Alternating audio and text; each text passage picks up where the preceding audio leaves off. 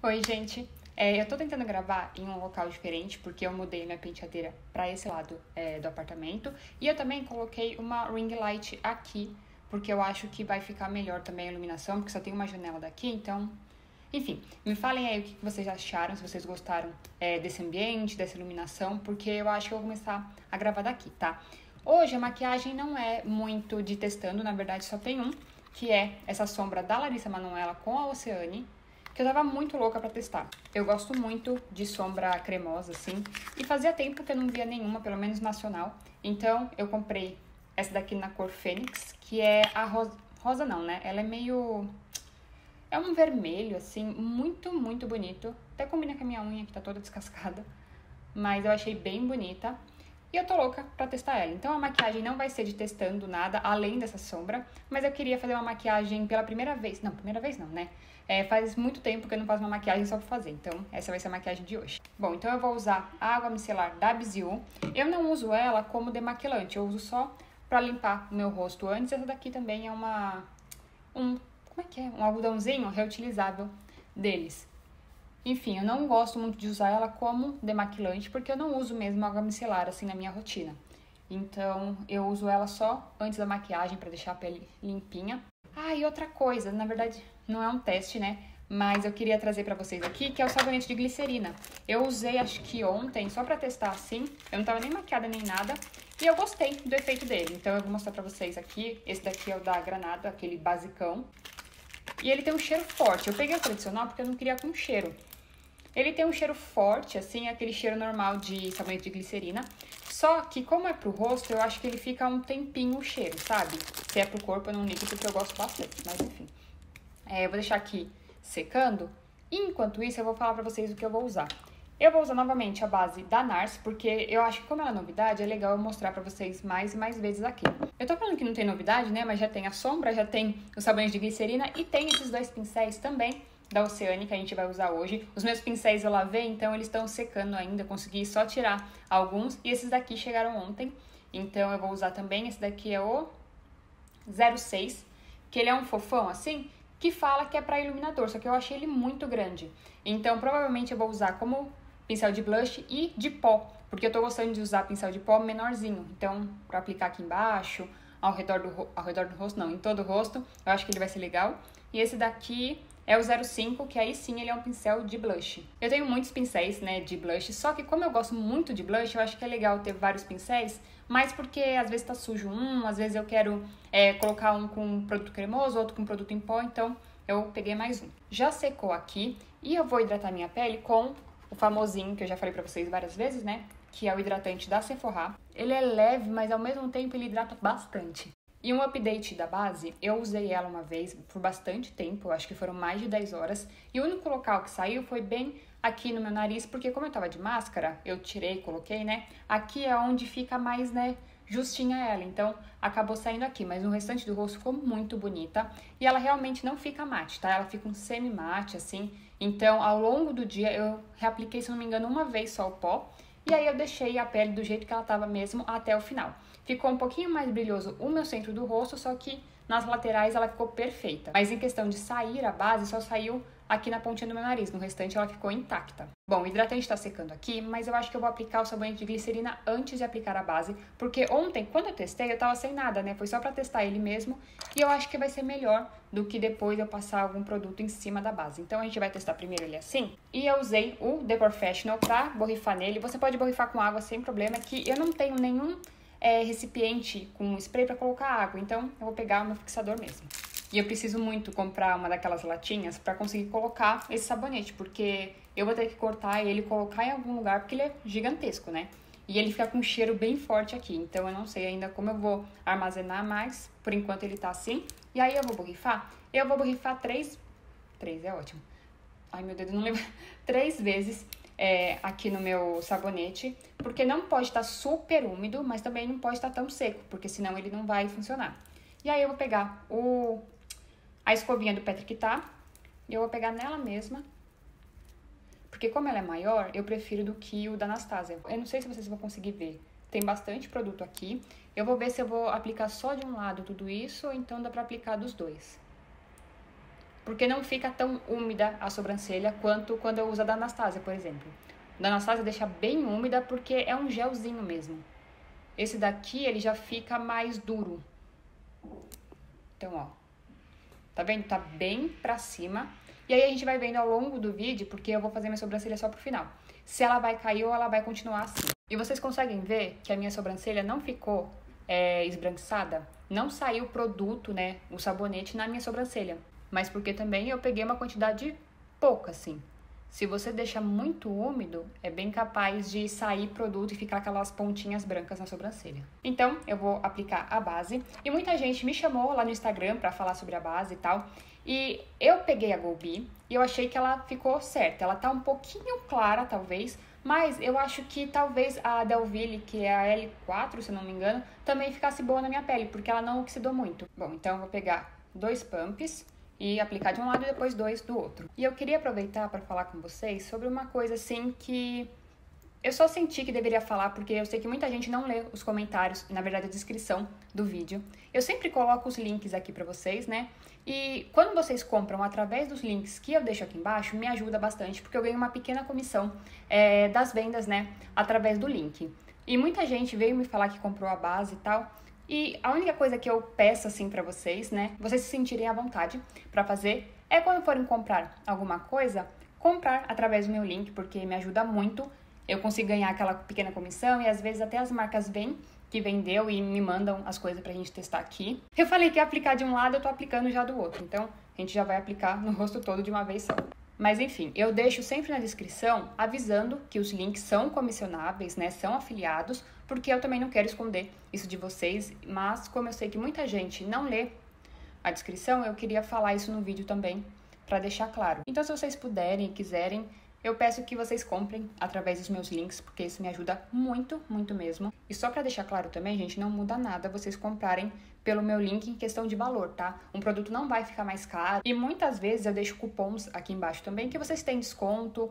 O meu link da época, por exemplo, da época cosméticos, tem desconto, tá? Porque é um link diferente de link comum assim. Então tem bastante desconto. Às vezes, no mínimo, vocês têm 15% em todos os produtos tem também brinde, e eu não queria esconder, e também queria é, avisar para vocês como funciona, porque eu sei que muita gente não entende como funciona e quer ajudar de alguma forma. Então, é só isso mesmo. Eu vou usar o Tenidor da Lancome abaixo dos olhos, porque no restante... Ah, não, e aqui também, que olha, nasceu essa espinha.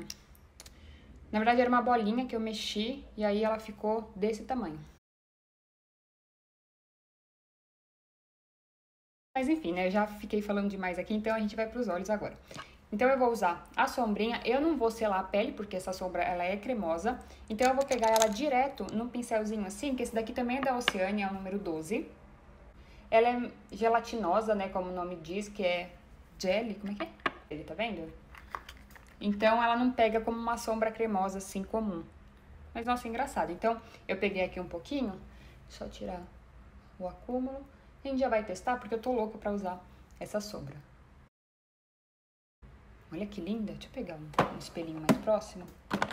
Pra vocês conseguirem ver e eu também. E eu tô aplicando, arrastando ela na minha pálpebra pra ver se ela não vai abrir. Mas por enquanto ela tá pigmentando bem. Que linda! E ela seca rápido, viu? Porque eu fui tentar agora dar uma leve esfumada aqui na borda e ela não tá saindo do lugar não. Não senti dificuldade nenhuma de aplicar essa sombra. E ela tá bem intensa. Como eu não tenho prática de esfumar sombra, eu não vou arriscar e aplicar ela pra gente esfumar ao redor aqui, né, pra dar acabamento. Eu vou usar uma outra sombra, tá? E aí eu deixo tudo certinho. Aqui na parte de baixo eu vou aplicar ela também. E aí eu vou pegar, deixa eu ver, Vou pegar um pincelzinho lápis. Esse daqui também é da Oceane. Gente, esses pincéis da Oceane são muito bons. Esse aqui é o 14. Eles são muito, muito bons.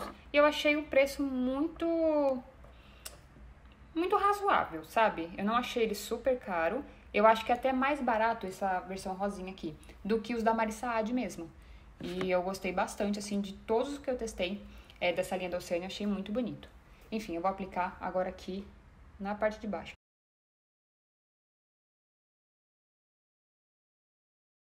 Tá intacto em cima. Ele secou bem rápido, o que foi bom pra mim, porque como eu tenho bastante espaço de pálpebra, acaba que às vezes quando eu vou fazer na parte de baixo e eu olho assim, encosta, né, ela aqui em cima e pode ser que às vezes abra ou então que é, carimbe nessa parte. Mas não saiu, até agora não abriu, tá bem, bem bonito. Eu vou então aplicar só alguma coisa para dar uma esfumada no, dar um acabamento. Ao invés de pegar uma sombra mate, eu já falei isso em outro vídeo, que a Savannah Saka é uma maquiadora que eu gosto muito, ela esfuma e ela passa aqui nessa parte de cima é iluminador, porque isso também ajuda a deixar mais esfumado. Então eu vou pegar o meu da Fenty, que tá aqui mesmo, e vou pegar esse tomzinho que eu gosto bastante, num pincel fofão. Esse daqui é o 224 da MAC. E eu vou passar aqui na borda, vamos ver se fica bom. E pode levar até aqui em cima, perto da sobrancelha, porque aí já dá esse iluminado, tá vendo? Vou pegar a minha paleta da ilha e vou pegar esse tomzinho aqui, porque eu queria pegar um tom mais escuro, só que eu acho que não vai dar certo. Então eu vou pegar esse mais clarinho, que assim, né, se precisar eu escureço um pouquinho mais. E se você tem menos espaço de pálpebra, passa mais pra cima essa sombra brilhosa, tá? É que eu tenho bastante, então mesmo eu abrindo o olho ainda dá pra ver. Mas quem tem essa parte um pouquinho menor, se quiser passar mais pra cima pra aparecer mais, fica legal também. Eu vou tentar, não é o ideal, mas eu vou tentar aplicar um pouquinho mais da sombra, só na partezinha que eu achei que eu cobri demais com a sombra em pó. Então, eu vou pegar só um pouquinho e vou aos poucos tentar construir. Por enquanto, não deu não deu nada, tá funcionando normal. Nossa, gente, ela tá super pigmentando por cima da sombra em pó, não tá abrindo e não tá ficando estranho. Então, se você tiver prática, faz primeiro esse esfumado com a cor que você quer, mas não traz ele pra pálpebra, tá? Só pra não ter perigo mesmo. Vai, faz no côncavo e depois vem com ela por cima. Nossa, ficou linda. Ainda assim, eu quero aplicar um lápis marrom na minha linha d'água, porque eu gosto de deixar essa área mais escura. Eu vou usar essa daqui da Victoria Beckham, que eu não trouxe pra vocês, mas eu comprei junto com o produtinho da Sei, com... Só da Sei? O batom da Merit, só que não tinha chegado. Esse daqui é na cor Coco, e eu vou aplicar só na linha d'água. É muito, muito macio e muito bonito. E eu amo marrom com rosa, com vermelho. Na verdade, eu amo marrom. Marrom é uma cor que eu gosto muito. Ó, tá vendo? Só deu uma escurecida pra... Aqui eu gosto de deixar um drama no olho. Bom, eu vou tentar agora aplicar na parte de cima, que é sempre muito difícil pra mim. Olha a diferença só aplicando o lápis na linha de cima. Dá pra ver, né? E o que ajuda muito é que como essa sombra ela seca muito rápido, deu pra levantar e não ter perigo dela se mover. E esse lápis também, como ele é muito macio e ele é muito cremoso, assim, muito pigmentado, é rapidinho para eu passar também antes de começar a lacrimejar os meus olhos. Então eu só vou dar uma leve, leve selada abaixo dos olhos, porque eu sinto que se eu não selar vai acabar transferindo máscara de cílios. Então eu vou pegar o pozinho da Pet, a esponjinha da Laura. vou aplicar assim e já passar o pincel para tirar o excesso, porque senão fica muito brancão. De máscara, eu vou usar a Lash Freak da Urban Decay, eu gosto bastante dela. Essa daqui é um mini, e eu acho que nem vende mais ela. Eu ganhei numa comprinha, e ela aplica muito produto. Então, aqui, ó, dá pra ver que fica super sujo, tá vendo? Só que na parte de baixo eu não vou aplicar ela, não. Senão vai ficar muito pesado. Aí na parte de baixo eu vou usar essa daqui da Ilha, que ela é mais... Ela é mais discreta do que essa daqui. Ó, eu tenho essa daqui também, da ilha, que ela é menorzinha. Essa daqui eu acho que ela é um pouquinho mais dramática. E ela é maior também. Então, para os cílios de baixo, eu prefiro essa daqui.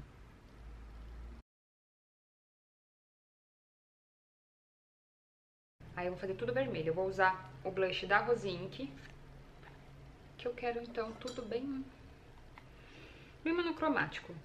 Vamos ver se esse pincel... Aqui acho que esse pincel da da Oceane não é bom pra produto cremoso assim.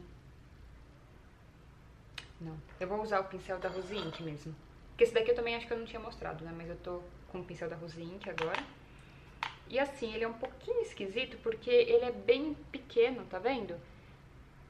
E ele deixa umas marquinhas no rosto. Então, o que, que a Cami, que é a câmera da Nova Beleza, que é com quem eu encomendo esses produtos. Ela falou que depois da terceira lavada nele, ele já fica diferente. Só que eu ainda não lavei ele três vezes para isso. Então eu vou aplicar só com ele e aí eu vou vir esfumando com o da Oceane. Porque o da Oceane não foi bom para pegar, só que aí pra espalhar eu acho que vai ser melhor. Aí eu venho com a esponjinha e eu já não vou trazer pra ponta do nariz, eu vou deixar aqui. Aí eu vou aplicar iluminador, né? Eu vou aplicar o da Chanel. Faz tempo que eu não uso ele só como iluminador. Eu vou aplicar um pouquinho na mão. Mas assim, nada, gente, nada. Porque esse produto aqui, ele rende bem. Aí eu faço assim.